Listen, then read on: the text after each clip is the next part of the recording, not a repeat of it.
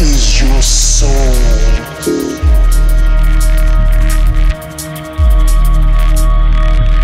Open up the gates. Look at them and enjoy it.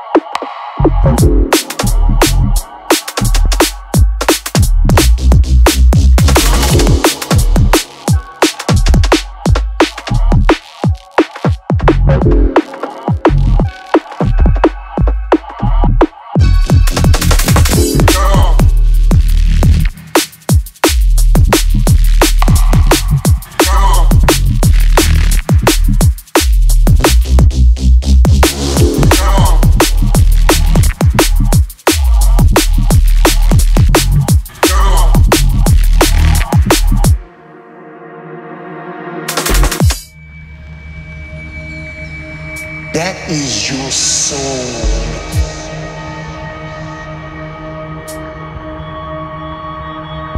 Open up the gates. Look at them and enjoy